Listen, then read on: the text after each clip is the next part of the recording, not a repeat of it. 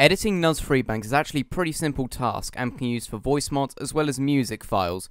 I mentioned in an older video that NUS3BANKs are the primary sound file for Smash 4, so without further ado, let's just jump straight into it.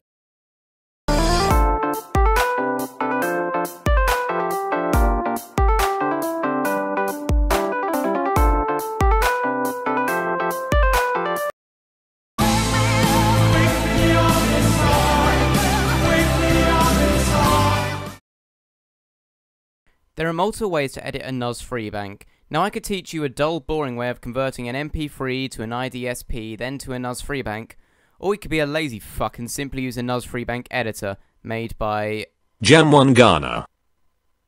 To replace an existing NUS3BANK, what we want to do is go to a site called Smash Custom Music and grab any sound, it really doesn't matter. And then download as a Smash 4 template over whatever stage, unless you're editing an existing stage song then just find the stage and go from there.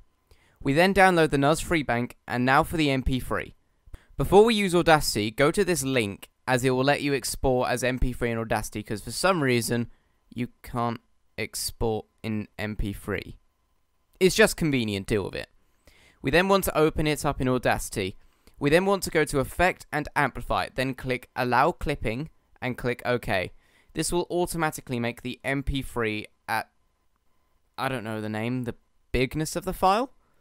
Then go to Amplify again and type simply 5. Then go to Export MP3 and you're good. Now we open the NUS3BANK editor and open the NUS3BANK you want to edit. Click the song in the file. Then click Replace. Find your MP3 file and go ahead. If you want, you can add a loop when asked and huzzah. You have a NUS3BANK. If this is going to be used for an extra music slot, then make sure to name it snd underscore bgm underscore.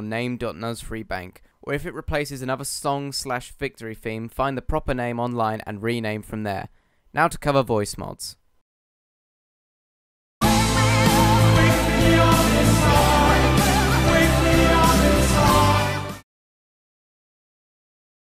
Voice mods are essentially the same process but 10 times as tedious. Find and extract the voice file you want, then what we're going to do is open it up again in the NUS3BANK editor. For the next step, you need a program called Foobar to preview IDSPs and NUS3BANKs. Now we go to the workspace folder of the NUS3BANK editor and drag everything into Foobar. We can now preview all the characters' noises and lines, as well as know the file names of them. With that, you can repeat the NUS3BANK replacement process now for everything. Oh god, have fun with that.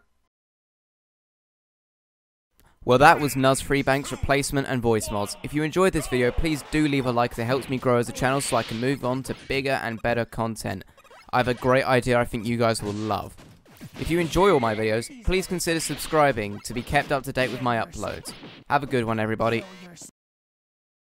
Or if it replaces another slong slash victory... Or if it replaces another slong... That's a fucking word, tongue twister.